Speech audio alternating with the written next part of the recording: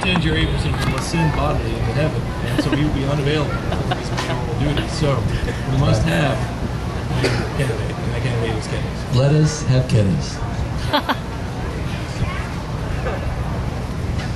Uh, come, feel free to come closer to dance if you like. Who are you talking to? You, you can see we we drew these lines out here so you be have, have a good uh, feel for the way to you know swear and uh, when does Chattahoochee that song come up?